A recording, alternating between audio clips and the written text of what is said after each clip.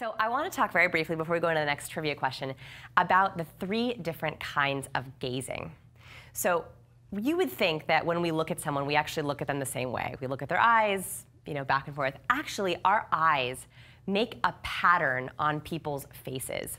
So let me show you, this is power gazing. So power gazing is when we look between someone's eyes and we go up to their forehead. That is the pattern that our eyes make when we are looking at someone. And power gazing is what we do in business situations. It's what alphas do. So alphas are the natural leaders of social groups. Sometimes they can be bosses, especially in a business environment, but not always. And alphas use this pattern more often. So eye, eye, forehead. That's where they go with their eyes. And we're going to be talking about how to use this in your business situations, how to use gazing to your advantage.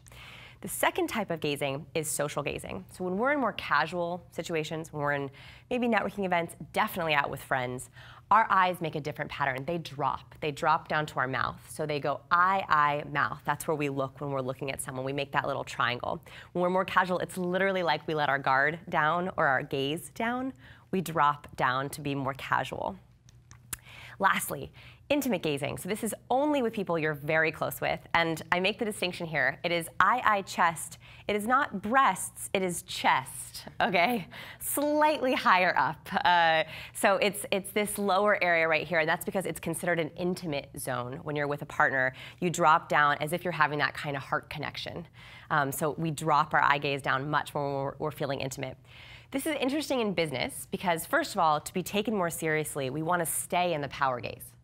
Um, sometimes, women especially, if we're feeling camaraderie and we're trying to build connection, we drop our gaze. But actually, that sends off a very different signal. It's a more casual signal, and you have to be careful what you want to portray to the people you're speaking with. Also, for women, you can tell how someone feels about you, especially a man, if he is dropping his gaze on you right? Either to mouth or chest. So it's a very interesting way of not only showcasing how you want to feel, but also ga gauging what they feel about you based on their eye patterns.